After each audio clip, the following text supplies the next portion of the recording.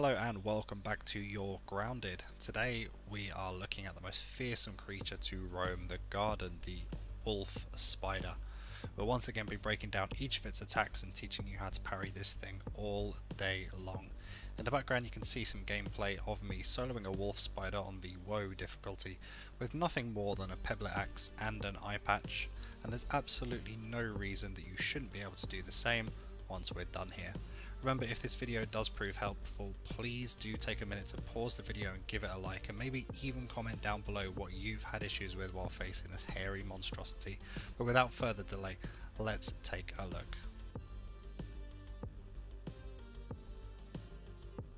So its first attack is the jumping strike. The wolf spider will always open with this attack regardless of your distance to it. Sometimes if you're too high or you're too far away from it, it'll fire a web shot identical to that of the orb weavers, but this is still exceptionally rare.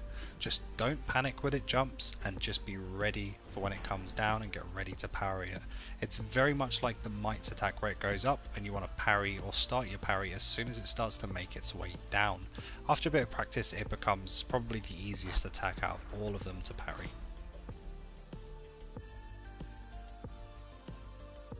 Next up is the one-handed strike. I'm not going to say too much about this. It's identical to the Orb Weavers, where it just raises one arm in the air as a distraction before moving in for a bite with its pincers. Very simple move to parry, and you should have it down in no time.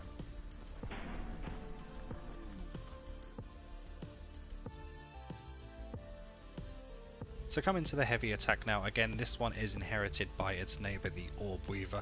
The spider lets out a roar before striking forward with its full body weight. Staying calm here is the key and starting the parry once it's started its body movement forward is the key to nailing this one. As you can see the AI can be a bit weird and this attack will sometimes cause a lunge over a considerable distance and land, sometimes uh, it'll lunge but it'll miss, sometimes the attack will connect at point blank range and sometimes the AI is just looking somewhere completely different and it straight up misses and you get some free punish damage for it.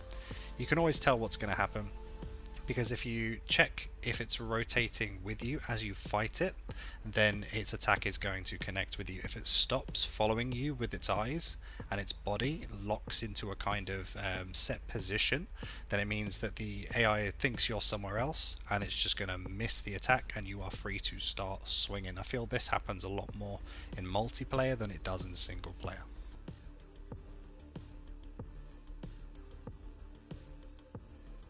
So coming up to the final move now, it's so overkill that honestly even the first hit will kill you on the higher difficulties. It consists of 5 strikes in total as opposed to the Orb Weaver's 3 and it ends in a massive bite with massive damage and every single attack the Wolf Spider does of course inflicts poison damage to you.